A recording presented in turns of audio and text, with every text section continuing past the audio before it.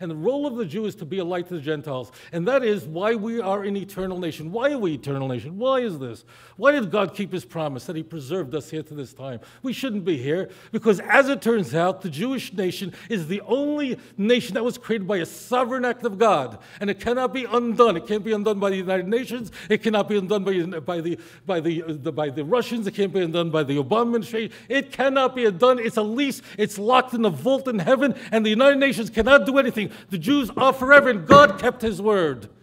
And that's why we worship him, and that's why we know him. It's because he kept his promises to Israel. He didn't change his mind. It looked very bleak, but he kept it. But here's the question I, want to, I just want to pose to you.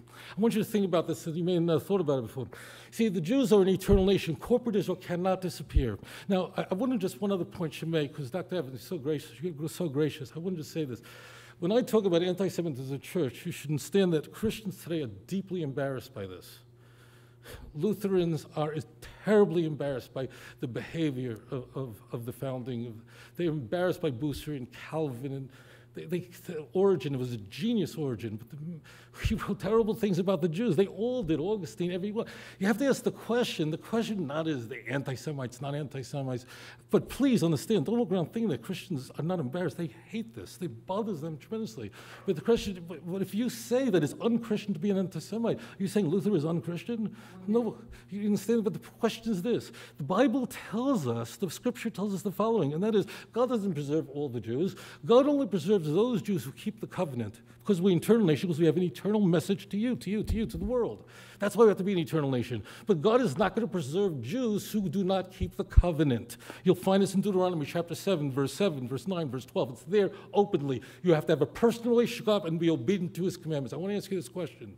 As we see today, of course, the Messianic Jews, you meet many Jews who converted to Christianity, whatever they're going to call themselves. Here's the question. Going back to the first century, there's something very odd.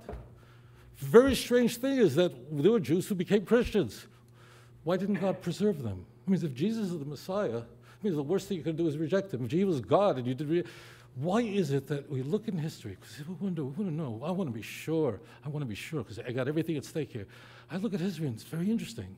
Sure, you meet Jews who became Christians, but the grandparents were completely religious Jews. It was the chief rabbi said, Why didn't God preserve the Jews who believed in Jesus and the children that they would still be here as Jews? No, they're gone. Peter's children are gone. Who do we see today as the Jewish people? Those who God kept the promise and they did this. And then as they believed in the God of Israel and they said that Jesus, we wish he was the Messiah, but unfortunately is not. And this is the witness to this day. Thank you so much for having me. Thank you to Dr. Kurt Evans. What a joy